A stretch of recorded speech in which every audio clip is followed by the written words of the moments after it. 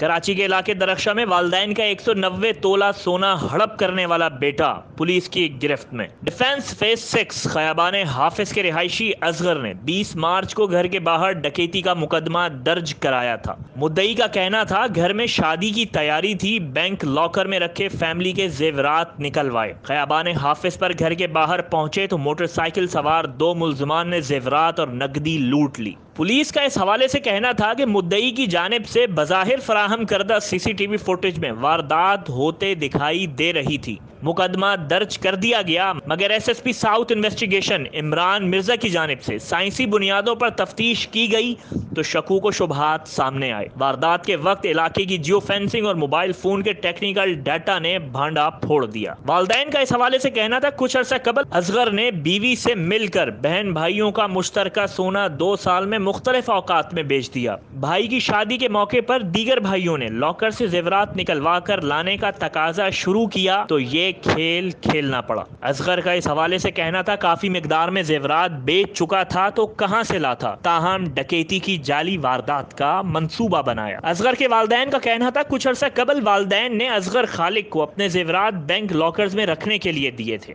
इस वारदात में मुलजिम ने अपनी बीवी के कज़न फाइक अली से ड्रामे में किरदार डाकू का निभाने का कहा। मकामी यूनिवर्सिटी में कोऑर्डिनेटर खालिक अली अपने साथी के हमरा वारदात का ड्रामा करके फरार हो गया। सीसीटीवी फुटेज में मुलजमान को बगैर असलहे दिखाए शॉपर छीन कर फरार होने पर पुलिस को शक हुआ।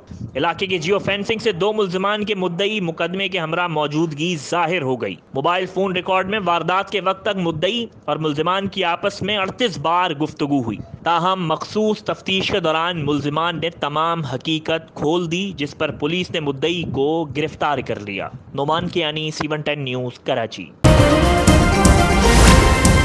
C one ten news खबर की असल खबर।